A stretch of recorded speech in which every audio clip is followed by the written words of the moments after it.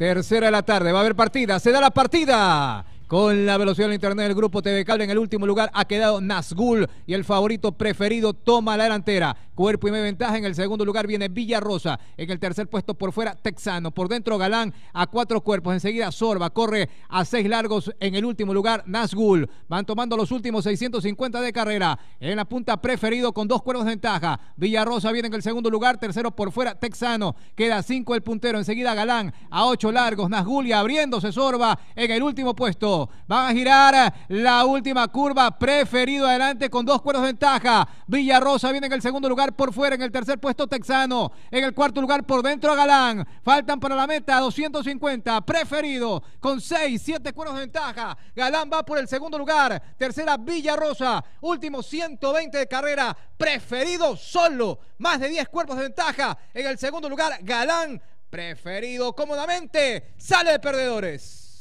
El segundo lugar para Galán, tercer puesto Villarrosa.